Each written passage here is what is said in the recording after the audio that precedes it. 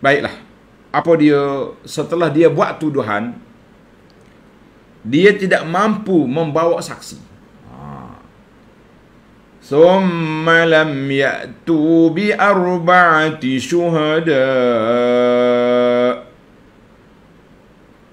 Kemudian mereka tidak mampu membawa empat orang saksi lam yuhdiru arba'atan minar rijalil udul. Saksi dia semuanya laki-laki.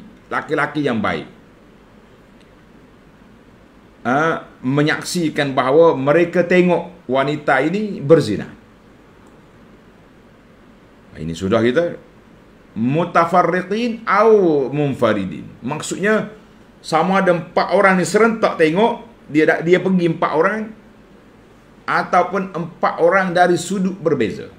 Orang ni tengok dari atas, orang ni tengok dari sini, yang seorang lagi dari sini. Tak yang pentingnya peristiwa yang sama. Wanita itu berzina disaksikan oleh empat orang sama ada serentak ataupun bermutafarriqah. Naknya tuduhan kepada seorang itu. Ha, jangan tuduh orang lain.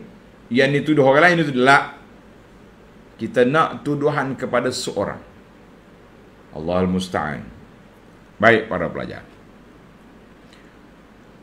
Nak tuduh, tuduh tu kena soreh. Dalam bahasa pekah dia kata kalmirwadah fil makhalah. Masuknya alat itu sebagaimana batang celak mata, celak kening. Kan kita ada alat ni celak mata ni. Batang dia tu masuk dalam ni. Ni yang kita celak ni. Dalam bekas dia begitulah dia tengok berlakunya perzinaan di antara jantan dengan betina itu. Laki-laki atau perempuan itu. Bukan mudah. Eh, kalau boleh sampai peringkat empat orang boleh tengok perbuatan ini. Sebab itulah undang-undang dia berat. Kan? Orang yang sudah kahwin direjam. Orang yang belum pernah kahwin disebat. Tapi nak isbatkan undang-undang itu secara saksi memang sukar. Yang berlaku di zaman Nabi sallallahu alaihi wasallam peristiwa-peristiwa rejam itu berlaku dengan iktiraf Contohnya Ma'iz. Ma'iz ni seorang sahabat radhiyallahu anhu dia tersalah. Dia pergi mengaku depan Nabi sallallahu alaihi wasallam. Dia kata ya Rasulullah, tahirni. Ya Rasulullah bersihkan saya. Nabi paling lain. Dia pergi sini pula. Nabi pusing. Maknanya Nabi tak nak dengar. Apa awak ni? Kemudian Nabi siasat, Abika junun, mu gila.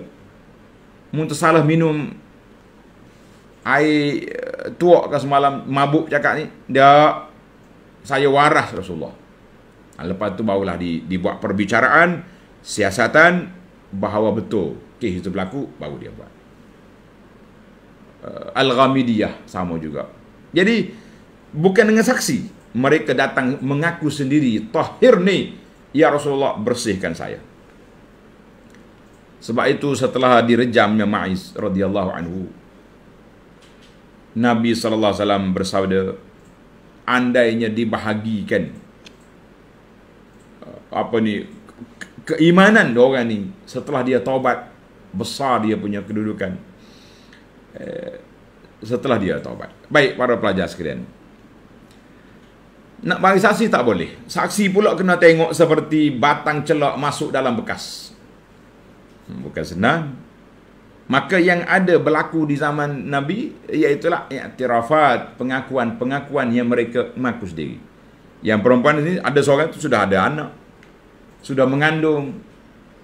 Maka Nabi tak jatuhkan hukuman lagi, tunggu dulu sampai dia bersalin. Buat mari baby Rasulullah sudah sudah beranak, Nabi kata tunggu dulu nanti dia pandai minum makan. Itu tunggu hukuman itu ditangguh-tangguhkan sehinggalah sampai cukup syarat barulah dijatuhkan hukuman. Allahu akbar. Baik uh, para pelajar sekalian, setelah mekanisme perbincangan berlaku, saksi tak cukup, syarat tak cukup, apa jadi kepada si penuduh? Ha, jatuhlah hukuman. Fajliduhum samanina jaldah.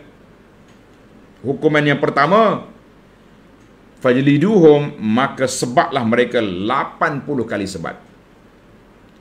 uqubatan lahum 'ala al-qazafi bila bayyinatin uh, menjadi uqubah hukuman ke atas perbuatan mereka tuduh tak cukup bukti. bukti dia je nak empat orang saksi panjanglah para ulama berbahas di sini. Adakah kalau kita bawa kamera video cam jadi saksi ke tidak? Yang duduk sibuk-sibuk dalam dunia hari ni ke video lah belakang ni. Ha, video gambar CCTV tapi waktu kita nak jatuhkan hukuman kita kata jelas gambar. Waktu kita tak nak jatuhkan kita kata gambar bela. Macam-macam lah dunia ni boleh tetapi kalau kita laksanakan undang-undang Islam masing-masing takut kepada Allah Azza wa Jalla jadi naknya empat orang saksi kata di para ulama asyuhadaul arba'ah Ibnu Ashur kata saksi empat orang itu ghairul qazif tak termasuk yang penuduh. Jadi lima Allahu akbar. La yatahaqqaqu fi ma idza kan min jumlati syuhada. Tak jadi. Ada ini ini dalam tafsir Ibnu Ashur. Dia kata empat orang lain saksi. Kamu penuduh di sini. Oh, sudah. Al-Syekh Syangkiti dia kata apa? Yushtaratu fi syuhudi zina an yakuna zukuran. Sak syarat saksi yang tengok tadi semuanya laki-laki. Wala tasihhu fihi syahadatun nisa bihalin wala na'lamu ahada min ahli ilmi khalafa bi dhalik kami tak tahu lagi ada ulama yang berbeza. Eh, ulama majoriti yang ulama ini berbeza orang wanita boleh jadi saksi dalam kes zina. Kecuali ada riwayat yang mengatakan daripada Atta dan Hamad dia kata boleh. Tiga orang laki-laki dua perempuan. Maknanya lima orang semua sah. Tapi pandangan ini kata Ibnu Qudamah dalam Mughni wa huwa syuzudun la yu'awwalu alaih. Pandangan ini ganjil tak boleh dipegang. Maknanya kesimpulan kitanya saksi itu mesti semuanya zukur laki-laki yang baik-baik. Ha, kerana itu kalau kita nak buat imbus, nak pergi buat apa ni serbuan, kena bawa empat orang laki-laki yang baik-baik. Ha, syarat nak jadi orang baik itu macam mana ulama semasa lah yang yang menetapkan dia punya afif atau ni orang yang baik itu. Ha, sebab masalah muruah ni berbeza-beza.